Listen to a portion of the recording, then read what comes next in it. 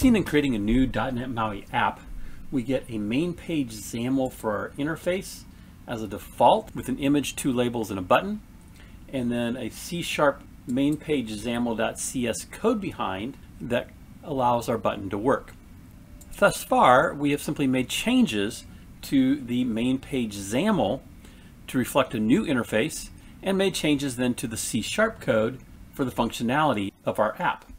In this video, I want to show you how to add a totally new page and then make that your startup page.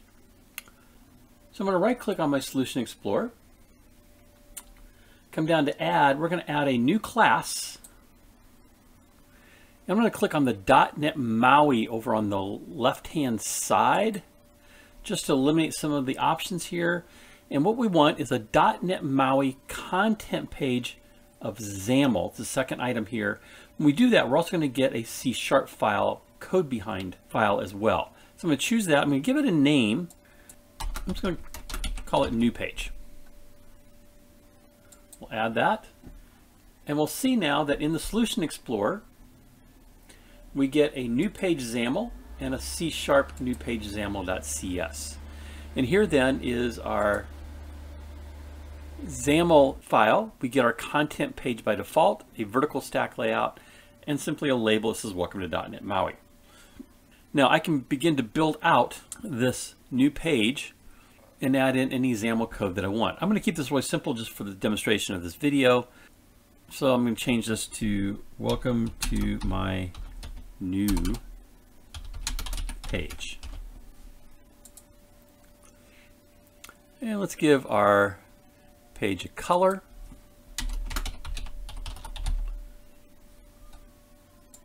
Background color equals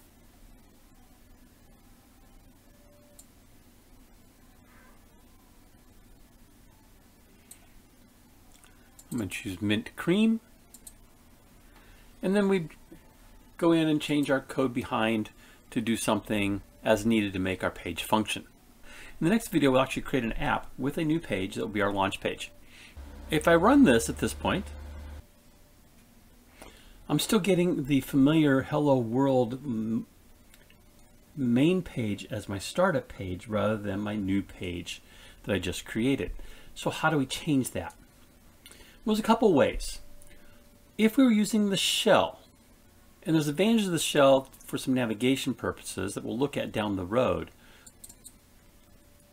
but in the app shell, we can specify the content template that we want to use. In this case, I could say new page, and let's do the route as new page. I'm going to stop and rebuild, relaunch it onto my emulator. And there then is my new page as my startup page. Again, I'm going to stop. I'm going to come back here and just simply revert. So I'll do a control Z a bunch of times. Get back to where I was before. The other way to do this is to go into the app XAML.cs. And this is probably the better way to do it, if, certainly if you're not using the shell,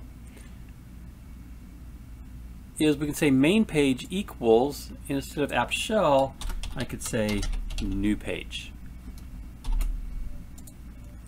And again, I'm going to run.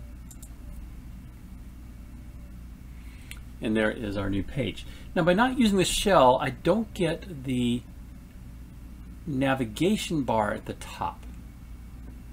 So this is great for like a single page, or if we want to do some, some just straight navigation between pages changing the target in the app XAML.cs code is a great solution. So the next video, we'll create an app with a new page.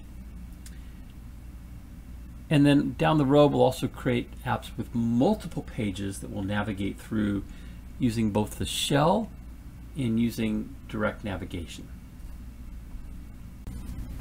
If you just jumped into this video, you can see all the videos from the .NET MAUI Practicum playlist by clicking on the image in the lower right.